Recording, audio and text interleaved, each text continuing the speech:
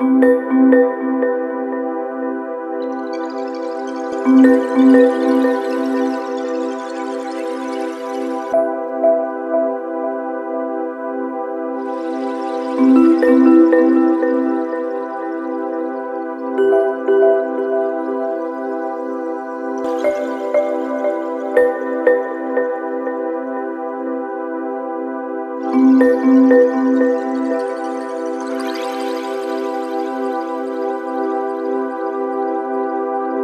beeinflussen. Das ist jetzt in diesem Teil mein Thema und ich bin so ehrlich und sage das, dass ich Sie beeinflussen möchte. Ich habe etwas vorbereitet, so ein paar Spielereien, die wir tun werden und ich habe auch etwas aufgeschrieben.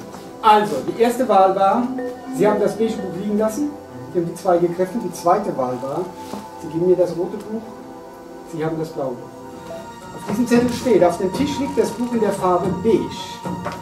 Ich habe das rote Buch und Sie haben das blaue Buch.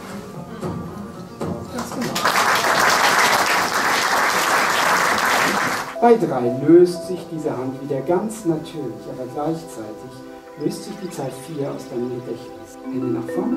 Okay. Zähl mal laut durch. Okay. Nochmal hier. Die andere Hand auch. Die andere Hand. 1, 2, 3, 5, 6. 6 plus 6 ist. 7. Weißt du was? Ich zähle auf 3 und bei 3 gebe ich dir die Zahl 4 wieder. Sie ist wieder da. Aber gleichzeitig ist dein Vorname aus deinem Gedächtnis. Du kannst ihn auch nicht mehr aussprechen. Halt mal deine Hand so nach oben und jetzt zähl mal laut durch. 1, 2, 3, 4, Und die andere Hand auch.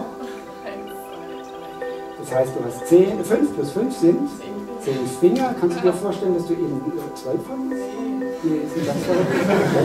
Ich habe nur ein kleines Problem. Ähm, jetzt stehen wir schon die ganze Zeit hier oben, aber wir haben uns noch gar nicht richtig vorgestellt. Ich heiße Erik, wie heißt du?